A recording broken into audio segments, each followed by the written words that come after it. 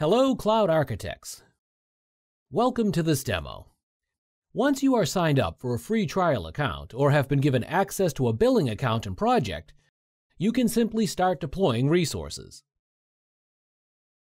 In this demo, we will take you through the steps to sign for a free trial account and view the default billing account and project. For this demo, we already created a consumer Gmail account to serve as the GCP free trial administrator.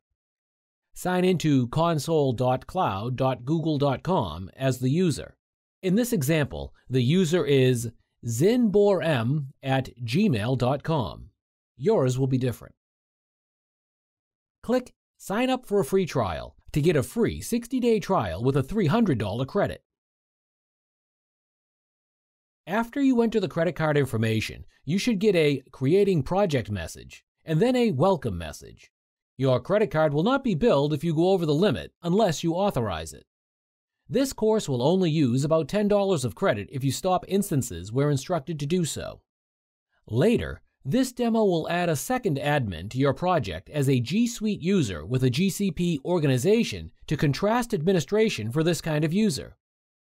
If you do not have access to a G Suite user, you can just add another Gmail account. Take a minute to view the home page. There are cards on your main dashboard which you can customize later for easy navigation. Notice the My First Project card for your default project that was created for you. It is also available from the drop-down list of projects at the top. The most important section is the menu. Here is where you access your resources that you can deploy. It is similar to the main landing page in AWS. We'll start by reviewing billing, so click Billing. It takes you to the default billing account that was created for you called My Billing Account. Here are the account details with your $300 credit, your billing account administrators, and the projects associated with this billing account.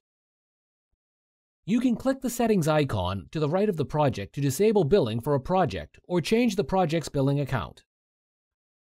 Let's add an administrator to the billing account, which could be a user in another organization or company. We'll add a G Suite user so you can see the slightly different Cloud Console experience for that kind of user. Enter the email address of the G Suite user. Click Enter.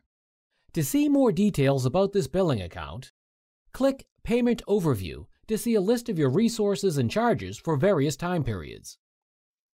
You can also manage your payment and profile information from here. Click Budgets and Alerts, and then click Create Budget to see how you can set limits, but don't create a budget for now. See the types of budgets you can set and notifications that can be sent after spend exceeds a budget percentage.